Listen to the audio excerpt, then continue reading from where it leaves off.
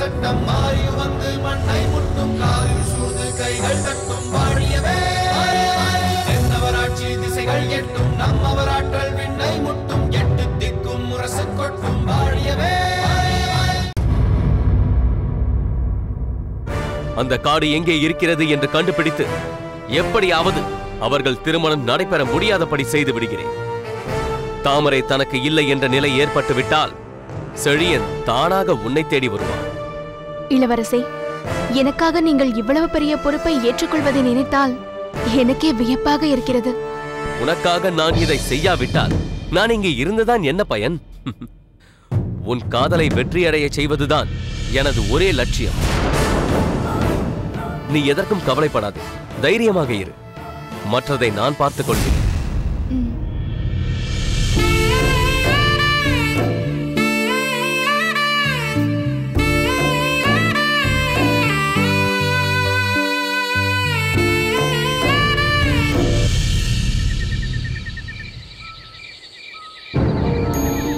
வாருங்கள் வாருங்கள். ம். அரசர் உங்களுக்காகத்தான் காத்து கொண்டிருக்கிறார் அனைத்தும் தயாராக இருக்கிறது.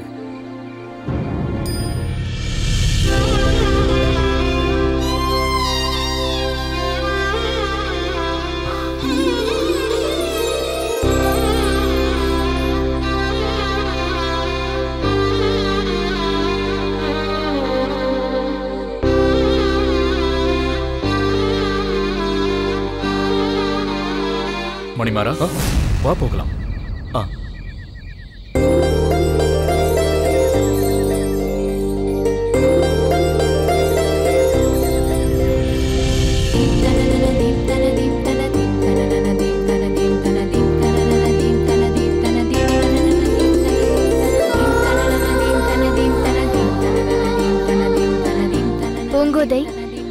இந்த நெய் தீபங்கள் ஏற்றி வைத்திருக்கும் காட்சி கண்களுக்கு எவ்வளவு இனிமையாக இருக்கிறது?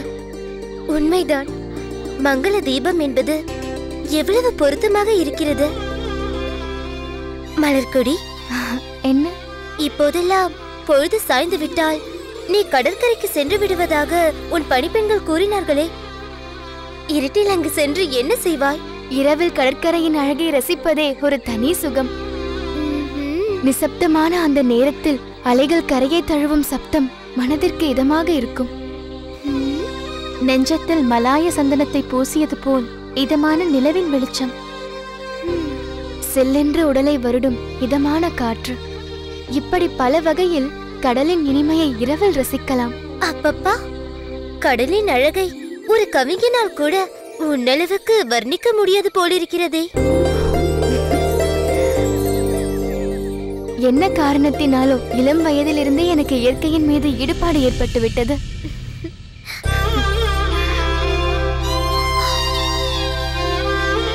மலர்கொடி உனக்கு இதில் மட்டுமல்ல வேறொன்றிலும் ஆர்வம் இருப்பது எனக்கு தெரியும். அது என்ன? காதல் கவிதை. காதல் கவிதைகளில் உனக்கு ஆர்வம் இருப்பது எனக்கு நன்றாக தெரியும். பூங்கோதை என்ன திடீரென்று உளறுகிறாய்? நானொன்றும் உளரவில்லை உனது கவிதை உன் பின்னால் இருக்கிறது. திரும்பிப்பார் பார்.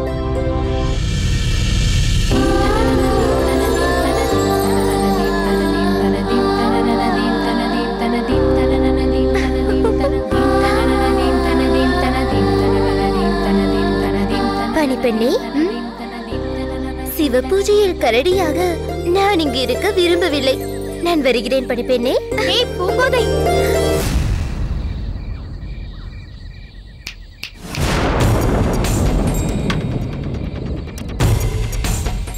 ஏன் அப்படி சொன்னாய்? அது அது வந்து சொல். உன் பெயரை தெரிந்து கொள்ள வேண்டும் என்ற ஆவலை எத்தனை நாட்களாக உன்னை தேடி அலைந்தேன் என்று உனக்கு தெரியுமா? எனக்கு தெரியும். உங்கள் அந்தப்புற நடமாட்டங்களையும் நடவடிக்கைகளையும் நான் பல முறை மறைந்திருந்து பார்த்திருக்கிறேன். நீங்கள் என்னைத்தான் தேடுகிறீர்கள் என்பதும் அந்த நேரத்தில் எனக்கு தெரியும். உன்னைத்தான் தேடி வந்தேன் என்று நான் கூறுவதற்கு முன்பே உனக்கு எப்படி தெரியும்? நீங்கள் கூறவில்லை. ஆனால் உங்கள் கண்கள் கூறியது. நீங்கள் என்னைத்தான் தேடுகிறீர்கள் என்று. அப்படி என்றால் என் கண்கள் உன்னிடம் பொய் சொல்லியிருக்கிறது. என்ன சொல்கிறீர்கள்? ஆ ஆமாம். நான் தேடுவது உன்னை அல்ல உன் இளவரசி.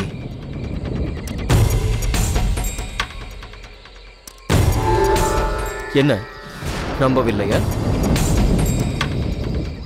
நம்பவில்லை என்றால் என் கண்களை பார்.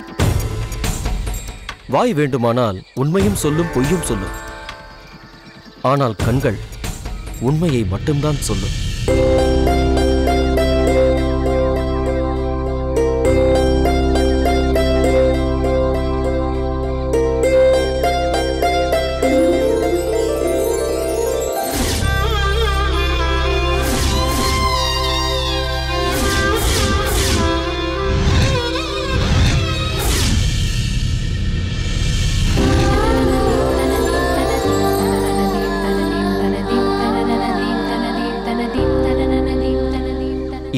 இப்போதாவது சொல். உன் பெயர் என்ன?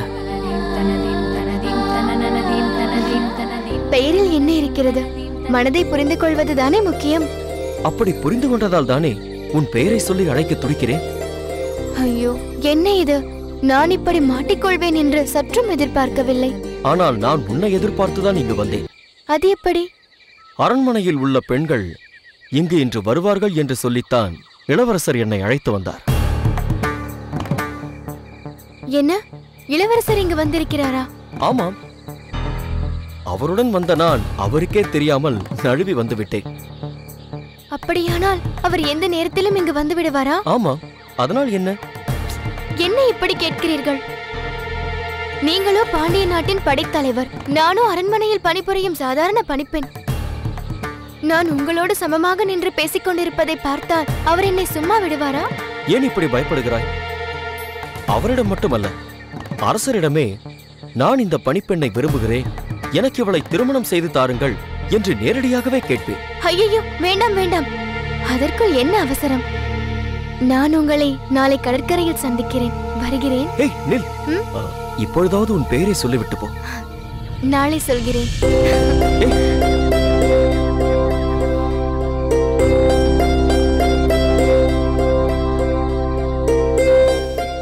மணிமாறா? வாருங்கள் மன்னா. என்ன மணிமாறா? இங்கு எப்பொழுது வந்தாய்? சற்று நேரத்திற்கு முன்புதான் வந்தேன் மன்னா. உனக்காக அரண்மனையில் விருந்து காத்துக் கொண்டிருக்கிறது. நீ இங்கு நின்று கொண்டிருக்கிறாய்? சரி சரி. இங்குள்ள ஆலயத்தின் அழகையெல்லாம் பார்த்து ரசித்தாயா மணிமாறா? ஆ, ஆம் அரசே. இங்குள்ள சிற்பங்களின் அழகு வார்த்தையால் வர்ணிக்க முடியாத அளவிற்கு வியக்கத்தக்கதாக இருக்கிறது. உனது கலை ரசனையை நான் பாராட்டுகிறேன். மணிமாரா நீ சிற்பங்களின் அழகையா ரசித்திருப்பாய். நீ எதற்கு வந்தாய் என்பது எனக்கு மட்டும்தானே தெரியும். இங்கு விளக்கேற்ற வரும் பெண்களின் அழகை அல்லவா ரசித்திருப்பாய்? என்ன? நண்பர்களுக்குள் ஏதோ ரகசியம் பேசுவது போல் தோன்றுகிறது. இல்லை இல்லை. அப்படியெல்லாம் ஒன்றுமில்லை. நேரமாகிவிட்டது போகலாம் என்கிறார். ஆம். விருந்து என்று சொன்னீர்கள் அல்லவா அதனால்தான் பாவம். இளவரசருக்கு பசிக்கிறது போல இருக்கிறது சரி வாருங்கள் செல்லலாம்.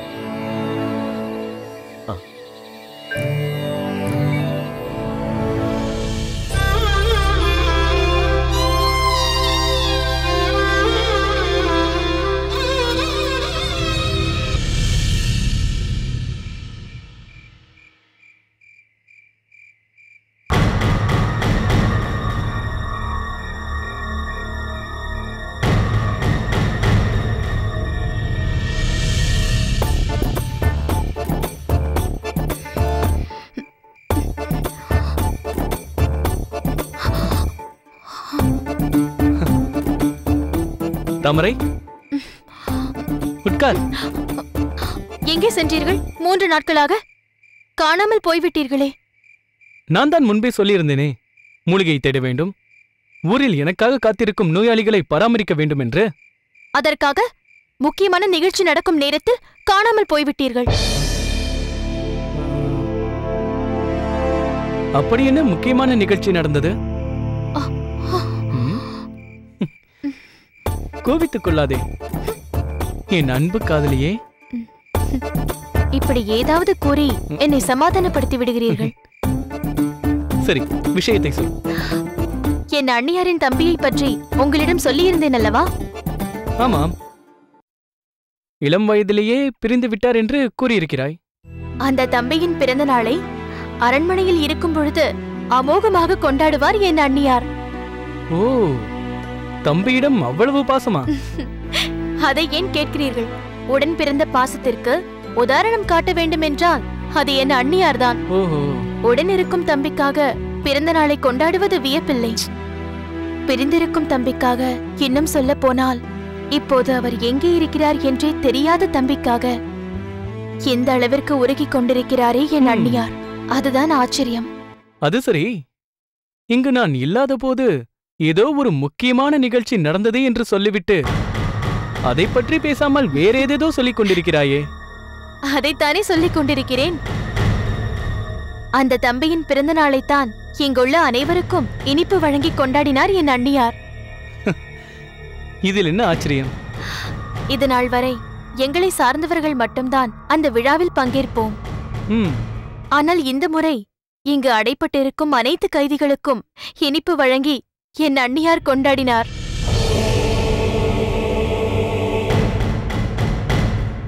இங்குள்ள கைதிகள் அனைவரும் இங்கு வந்து அண்ணியாரின் கரத்தால் அந்த இனிப்புகளை பெறும்போது அவர் முகத்தில் அளவு கடந்த மகிழ்ச்சி தெரிந்தது.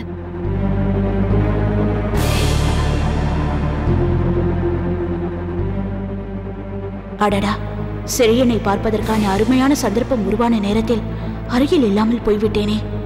இது போன்ற வாய்ப்பு இனி எப்போது கிடைக்கும் என்று சொல்ல முடியாதே. என்ன யோசிக்கிறீர்கள்? இல்லை அந்த ஆணவம் பிடித்த பாண்டிய நாட்டு வீரன் எப்படித்தான் இருக்கிறான் என்று பார்க்க நினைத்தேன். அவனை வெளியில் கொண்டு வரும் நேரத்தில் நான் அருகில் இல்லாமல் போய்விட்டேனே. அதற்கு நான் என்ன செய்ய முடியும்? நீங்கள் தானே அவ்வப்போது எனக்கு கூட தெரியாமல் வெளியில் சென்று விடுகிறீர்கள்?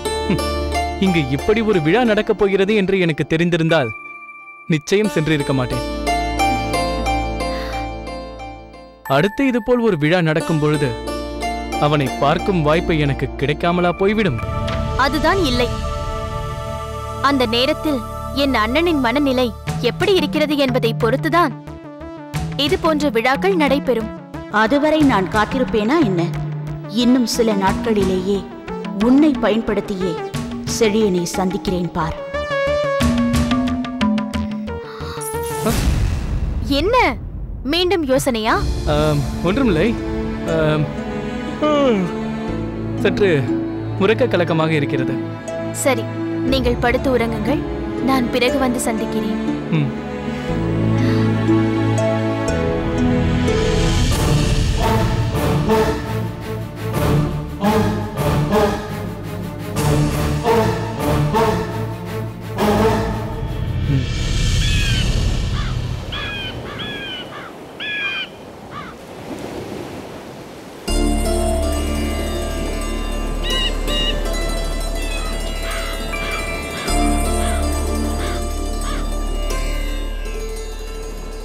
மலர்கொடி சொல் பொங்குதை கடற்கரையில் உட்கார்ந்து அதன் அழகை ரசிக்கும் போது எவ்வளவு மகிழ்ச்சியாக இருக்கிறது தெரியுமா? உண்மைதான் பூங்கோதை. இப்படி மணல்வெளியில் அமர்ந்திருப்பதும் மிகவும் மகிழ்ச்சியை தருகிறது. மலர்கொடி இந்த கடல் மண்ணில் நாம் இரு அரண்மனைகளை கட்டுவோமா? என்ன பூங்கோதை சிறு வயதில் நாம் இது போன்ற விளையாட்டில் ஈடுபட்டது நினைவிற்கு வந்து விட்டதா நம் இருவருக்கும் திருமணமாகி அவரவர் கணவர் வீட்டிற்கு செல்லும் வரை நாம் சிறுமிகள் தானே? யார் விரைவில் கட்டுகிறார்கள் என்று பார்ப்போம். பார்ப்போம்.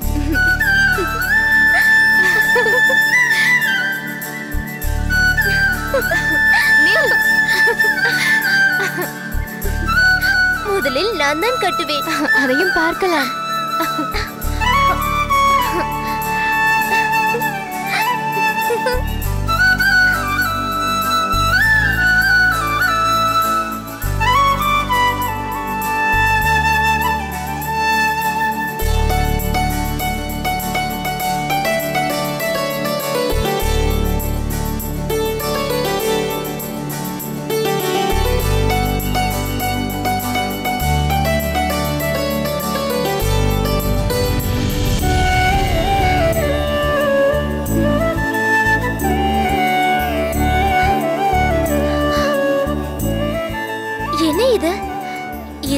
யாருக்கு வெற்றி என்று சொல்ல முடியாத அளவிற்கு ஒரே நேரத்தில் கட்டிவிட்டோமே.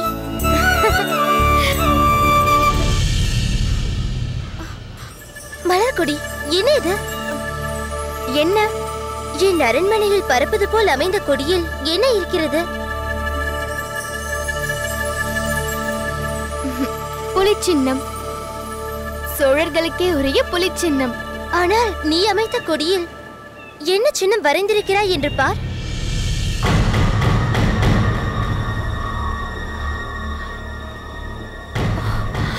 மீன் சின்னம். இது எப்படி இங்கு வந்தது? எனக்கே தெரியவில்லையடி.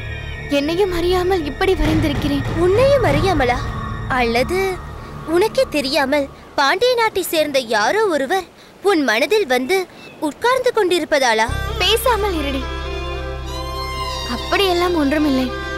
ஆனால் ஒரு உண்மையை மட்டும் உன்னிடம் சொல்லத்தான் வேண்டும். ஆ ஆ, சொல் சொல். என்ன அது? பாண்டிய பேரரசரும் பாண்டிமாதேவியும் இங்கு வந்திருந்த போது என் மீது காட்டிய அன்பும் மதுரையம்பதியை பற்றி வரைந்து காட்டிய சித்திரமும் என் நெஞ்சில் நிலையாக பதிந்து விட்டது. ஆலவாய் அழகனான சொக்கலிங்க பெருமான் அறுபத்தி நான்கு திருவிளையாடல்களை நடத்தியது. மதுரையம்பதி அல்லவா? மண்ணுலகில் முதன்முறையாக பெண்ணரசு கண்ட மீனாட்சி என்னை நிலை பெற்றிருப்பது மதுரையம்பதி அல்லவா? முக்கனி சுவை போல முத்தமிழ் சுவை காண தமிழ் சங்கம் கண்டது மதுரையம்பதி அல்லவா? பொற்றாமரை குளத்தில் நற்றமிழ் குரல் ஏடுகளை சங்கப் பலகை தாங்கி வந்ததும் மதுரையம்பதி அல்லவா? போதுமடி போதும். நீ இந்த அளவிற்கு பேசுவதை பார்த்தால் உன் மனதில் உள்ள சித்திரம் நகரத்தை பற்றியா அல்லது நகரத்தில் இருப்பவரை பற்றியா என்று எனக்கு சந்தேகமாக இருக்கிறது. போடி எப்போதும் உனக்கு கேலிதான். உண்மையை சொல்லடி. போடி. ஏய் மலர்குடி எங்கே போகிறாய்? உண்மையை சொல்லாமல் உன்னை நான் விட மாட்டேன் என்னை விடு. மலர்குடி.